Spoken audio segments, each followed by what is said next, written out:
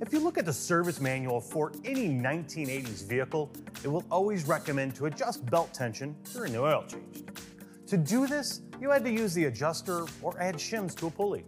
On some vehicles, you may have had to adjust up to three belts, but that all changed thanks to multi-rib belts and automatic tensioners. The multi-rib belt increases the surface area a belt can use to transmit power to a pulley. The automatic tensioner keeps belt tension constant during changing engine speeds as well as lows. An automatic tensioner has a coil spring that applies the right amount of force against the belt to keep it tight.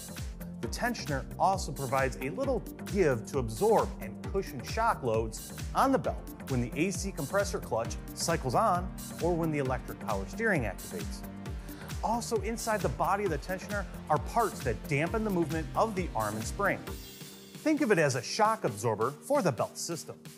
All Continental AccuDrive tensioners include a patented proportional dampening system tuned to the needs of individual vehicle applications. The tensioner spring and dampener are connected to the pivot shaft, which is critical to keeping the pulley aligned with the other components of the belt drive system. The spring, dampener, and pivot shaft can fatigue and wear out, which can send the customer to your shop. But you need to do more than listen. You need to look and feel.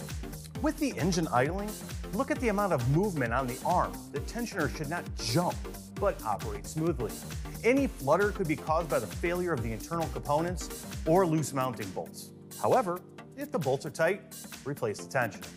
Some tensioners have marks on the body and arm. If the marks don't line up, or if the marks move around a lot when the engine is running, it is a sign the dampener or spring has failed. Look at the gap between the tensioner's arm and body. If misaligned, the shaft bearings and bushings are probably worn. If the belt is chirping or not tracking correctly, again, there could be internal tensioner wear, a cracked, broken tensioner casting or arm, loose mounting bolts, or a worn pulley bearing. In general, the tensioner is not operating smoothly, shows signs of tilt, or has seized, showing no movement. There could be internal damage or wear, such as a broken spring or a failed bearing, or internal contamination from dirt or water. The best choice is to replace the tensioner you should recommend the tensioner be replaced before it fails. It is a good practice to replace a tensioner when replacing the belt or if a component on or behind the drive belt system is replaced. Thanks for watching.